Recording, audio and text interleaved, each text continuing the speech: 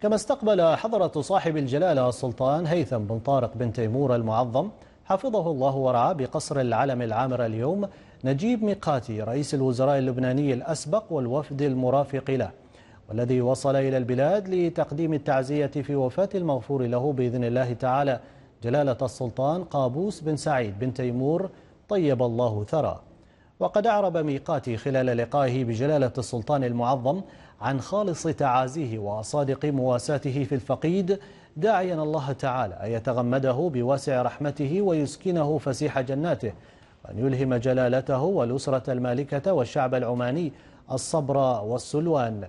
من جانبه عبر جلالة السلطان المعظم حفظه الله ورعاه عن خالص شكره وتقديره لرئيس الوزراء اللبناني الأسبق والوفد المرافق له على تعازيهما الخالصة ومواساتهم الصادقة.